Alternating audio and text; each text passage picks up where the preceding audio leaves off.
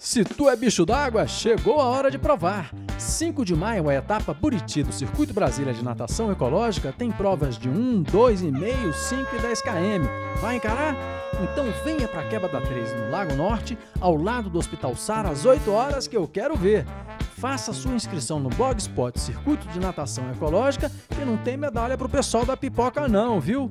Natação no Lago Paranoá não é para qualquer um. Para qualquer um, só a piscininha do clube. Te vejo na quebra!